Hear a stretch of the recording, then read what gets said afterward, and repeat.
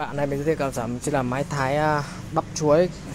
Mà máy thái rau thái bẹ chuối. Đây là đây là mình đang à, thái từ cái bắp chuối thật cái chuối này. Dụ như chuối này. À, mình sẽ chạy thử nhá. Mình là thái nhanh này tốc độ thái nhanh này. Đó. Đây là dày nhá rồi bây giờ ta muốn à, tay ta, thái nguyên cây này. Mà ta muốn nhỏ đi nhá mỏng đi nhá. Theo ý ta nhá thì ta giảm cái ờ, miếng tật này xuống này chậm chậm xuống này. Chậm xuống này. Ta muốn nhanh hơn tí là ta để ờ, tốc độ nhanh hơn một tí này. Đây.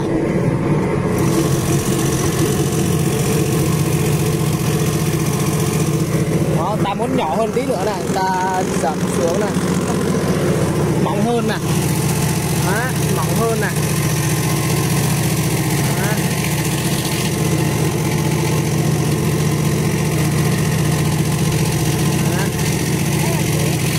Đó. Hoa chuối rất là tốt nhá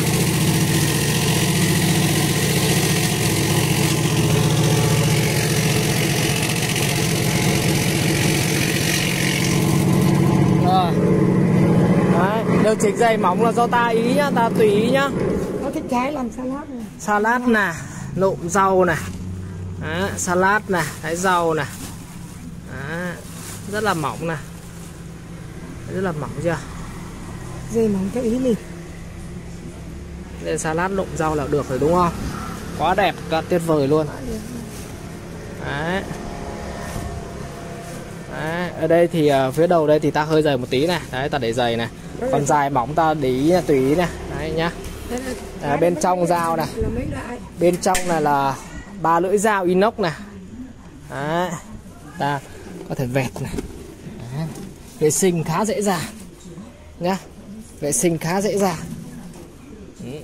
ai mà trái mà làm ờ, vỏ bưởi làm mức bưởi bưởi cũng được nhá rất là ngon nhá Đấy. Ờ, máy này là kích thước máy này là dài 1m1 này, rộng 180 cao 1m260 này, máy nặng 180 cân này, năng suất một tầm 1 tấn đến 1 tấn 6 trên giờ này. Các bạn mua máy liên hệ qua số điện thoại 09344822 0904432111. Sửa máy Thanh Hóa con địa chỉ là 7950 phường Ba Thành phố Thanh Hóa này. Máy là chất liệu inox dày dặn chắc chắn này. Khổ này là đường băng tải khổ là khổ 20 phân này. Phù hợp với bó 20 này, bó to này, bó nguyên bó vào này.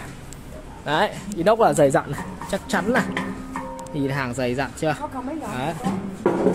dày dặn rất là chắc chắn. Đấy cơ sở Hải Nam. 79 Lê Hồng Phong cơ sở Hải Nam. Đúng thông tem mát. Đấy. Cảm ơn bạn rất là nhiều.